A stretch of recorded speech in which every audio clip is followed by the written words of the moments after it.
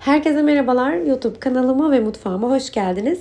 Bugün sizlere çok hafif ve kısa sürede hazırlayabileceğiniz nefis bir patlıcanı tutma tarifim olacak. Tavuklu hazırlayacağız. Umarım sizler de beğenirsiniz. Ee, ben iki kişilik olarak hazırlayacağım ve bir tane şöyle büyük boy bostan patlıcan benim için yeterli gelecektir. Birer parmak e, kalınlığında olacak şekilde bostan patlıcanlarımı dilimliyorum. Normal patlıcan da kullanabilirsiniz. Ama biraz daha geniş kullanırsanız içerisine e, üzerine ekleyeceğimiz malzemeleri daha güzel taşıyacaktır. Üzerine süreceğimiz e, yağlı kısmı hazırlıyorum. Böyle patlıcanların kararmaması için, çok daha lezzetli hale gelmesi için biraz toz biber, pul biber ve zeytinyağı karışımını patlıcanların üzerlerine sürüyorum. Bu arada fırınımı da 200 derece ayarına getirdim. Ben patlıcanlarımı yağlarken fırında ısınmış olacak. Üst kısımlarını yağladıktan sonra tepsiye yapışmaması için birazcık da kalan e, zeytinyağını alt kısımlarına sürüyorum. Yağlı kağıtta da yapabilirsiniz. Patlıcanları çok kalın doğramadım. İçleri çiğ kalmasın diye. ince doğrarsanız da hemen e, dağılacaktır. İstediğimiz gibi olmayacak. Isınmış olan fırında patlıcanlarımızı e, kızartmaya gönderiyorum. Patlıcanlar hazır olurken tavuklu kısmı hazırlayacağım. Tavuklu kısmı da tamamen tavuk göğsü gibi hazırlıyorum. 200 gram kadar böyle ufak ufak doğramış olduğum tavuk göğsü var. E, kalça da kullanabilirsiniz. E, tavuğun daha yumuşak yerini kullanmak isterseniz tamamen size kalmış. Yağsız bir şekilde tavuğu yüksek ateşte kavuruyorum. Rengi döndükten sonra suyunu bıraktıktan sonra içerisine bir adet soğan ekliyorum. Yemeklik doğramış olduğum soğanı ekliyorum ve tekrar kavurmaya devam ediyorum. Soğanı ekledikten sonra içerisine 3-4 yemek kaşığı kadar da sıvı yağ ekledim. Tekrar kavurmaya devam ediyorum. Soğanlar yumuşadıktan sonra içerisine kırmızı biber ve yeşil biber ekliyorum. Yüksek ateşte kavuralım ki tavuklar su çıkarmasın.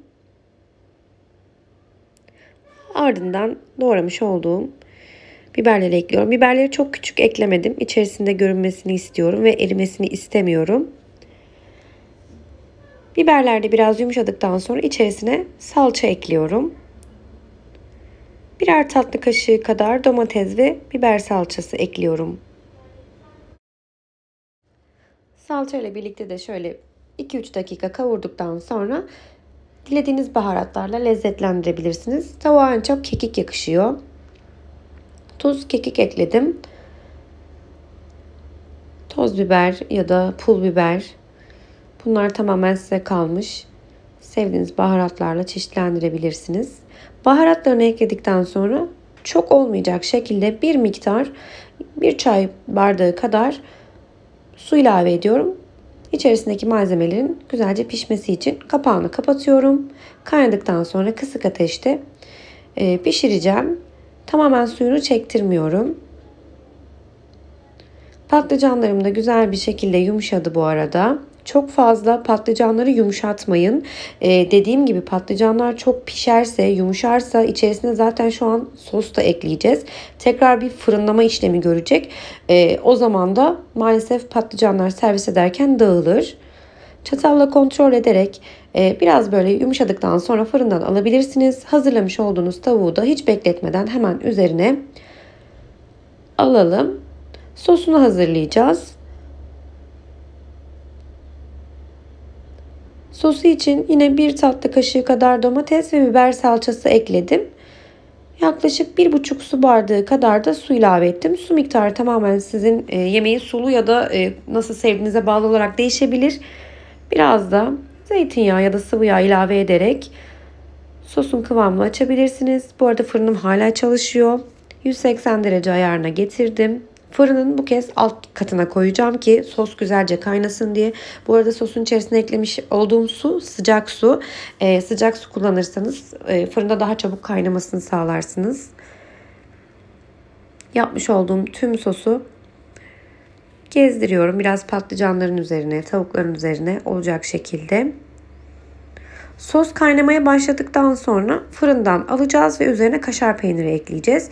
Çok fazla pişirmeye gerek yok. Zaten tavuk pişmişti. Patlıcanları da yeteri kadar e, yumuşamasını sağlamıştık. Sos koyulaştıktan sonra üzerine kaşar peyniri rendelerini ekliyorum. Dilerseniz başamel sosu yapıp üzerine kaşar peyniri ekleyerek tekrar fırınlayabilirsiniz. Çok fazla ağır olmasını istemediğim için kaşar peynirin tek başına bile hem görsel hem de lezzet olarak çok yakışacağını düşündüğüm için sadece kaşar peyniri ekledim. Tamamen size kalmış. Tekrar şöyle bir 5 dakika kadar üzerine kaşar peynirler eriyene kadar fırınlıyorum. Bu işlemi e, iftar saatine, yemek saatine yakın yaparsanız kaşar peynirleri donmamış olacaktır. Yemeği önceden hazırlayabilirsiniz ama e, mutlaka e, bu kaşar peyniri kısmını en son yapmanız gerekiyor. Yemeğimiz hazır. Umarım beğenmişsinizdir. Ee, biz çok beğendik. Akşam yemeği için şahane bir e, menü hazırlayabilirsiniz. Yanına pilav ve yine tabii ki patlıcanın olmazsa olmazı cacıkla birlikte. Deneyecek olanlara şimdiden afiyet olsun diliyorum. Eğer videomu buraya kadar izlediyseniz beğeni ve yorumlarınızla kanalıma destek olursanız çok mutlu olurum. Şöyle hemen dokusunu da göstereyim. Patlıcanlar yumuşacık. Tavuklar zaten pişmişti. Bugünlük tarifimizin sonuna geldik. Yeni videolarda ve yeni tariflerle tekrar görüşene dek kendinize çok iyi bakın. Hoşçakalın.